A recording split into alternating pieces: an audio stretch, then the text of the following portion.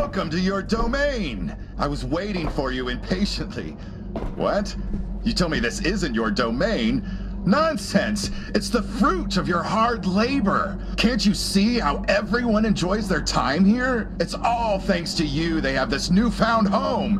How fulfilled they all seem. Some of them might look a little lost, I concur, but what of it? They have a place to be for all of eternity. How delightful for them, courtesy of Dwight Anderson. the dead will whisper tales of your achievements, and you will be remembered forever. Now, now, up you go, chap. Go have a look at your masterpiece.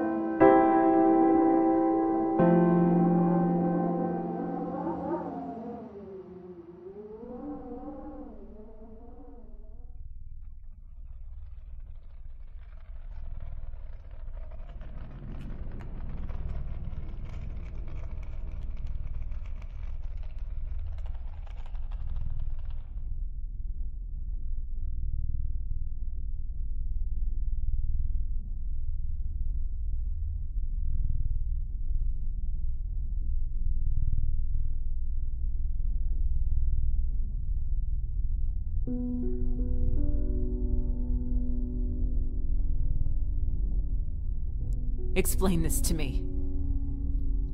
Please talk to me.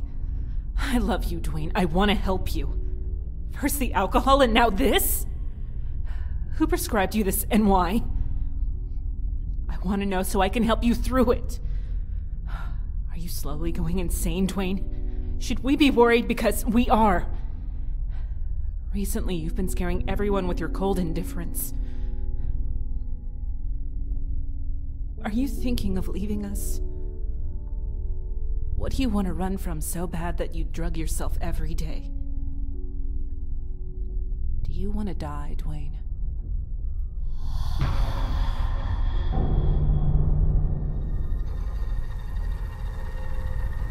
I could help you with that, you know. I'm only with you because you have money. It's probably blood money, but I don't care. I don't care about you. If you, you want to die, die, I'll happily oblige. Do you want a rope? Want me to kick the bucket? Life would be so much easier without your mopey face around, you delusional fuck. Want me to stab you with seven knives? Want me to rip the jaw off your ugly face? How about I break both your legs and leave you to rot in a cellar? You're a disgrace.